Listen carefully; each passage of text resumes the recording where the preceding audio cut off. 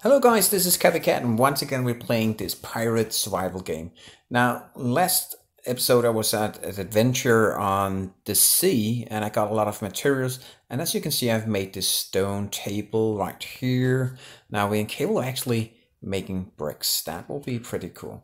And we're going to make a limestone hammer so that we can actually chop down some more of these limestones. I'm definitely sure that's it. Now it's raining. Uh, I also made a chest right here a little more storage and I made this one as well. This is storage for the stones. So every time I got some stone that could be orc or anything, I would be capable of having that in that area.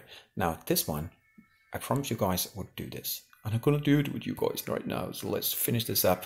Uh, this is a, I can't actually pronounce that. Dough code is built. So that's just for some pigeons that's going to fly around and being sure that this is going to make a mission.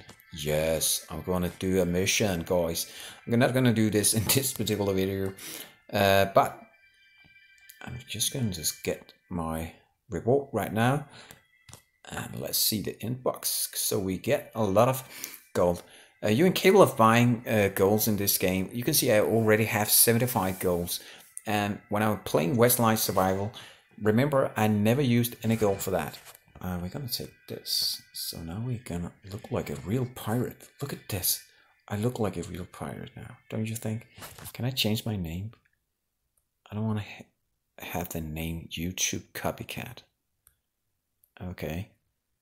I'm not gonna do this. Okay, we're gonna cancel that.